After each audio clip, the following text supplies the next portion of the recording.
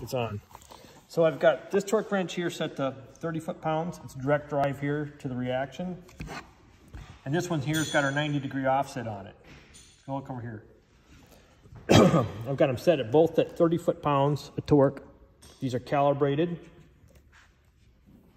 Scott's gonna hold one, I'm gonna hold one, and we're gonna watch here. As I carefully bring it up to 30. Mine's at 30, Scott, what's yours say? 28, 28.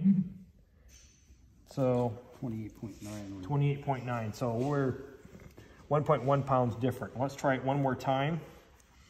We'll see if, um, maybe we'll do it like this, Scott. Oh, You hold that one. Okay, it's reset. You see the screen here? Okay, this one's set. Okay. I'm 30 there. 30.6. Okay. So I'd say it's in within the realm of real that it's dead on. It works just fine. Thanks.